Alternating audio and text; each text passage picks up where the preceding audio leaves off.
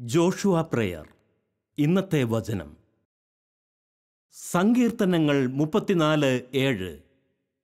കർത്താവിന്റെ ദൂതൻ ദൈവഭക്തരുടെ ചുറ്റും പാളയമടിച്ച് അവരെ രക്ഷിക്കുന്നു.